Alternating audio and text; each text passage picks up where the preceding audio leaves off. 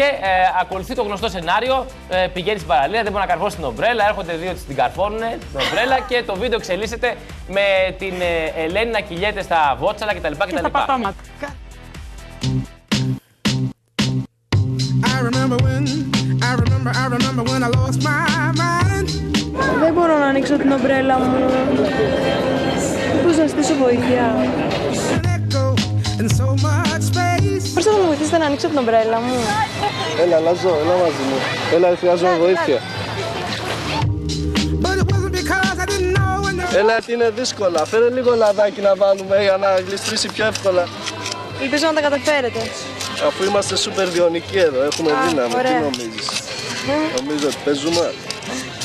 Δεν βλέπεις κάτι ποντίκια εδώ; Does that make me crazy? Και μετά τραβάς τώρα; προς τα πάνω. Αχ, Βλέπεις. Τώρα Αχ, δεν σε τι πιάνει ο ωραία. ήλιος. Ε, ευχαριστώ πολύ. χάρηκα πολύ. Σε ευχαριστώ πολύ. Να είσαι καλά. Και Θα ό,τι μπορείς να άλλο μου βάλεις και λίγο χρειαστείς. λαδάκι. Ναι, άμα έτσι ξαπλώστα μας σου βάλουμε όσο Ωραία. θέλεις. I just wanna live. Don't really care about the things that they say. Σταγόνα, σταγόνα. Αχ, άλυψε με εκεί καλά. I just wanna live. Τώρα ήρθε η ώρα να απολαύσετε το μπάνιο μου. just wanna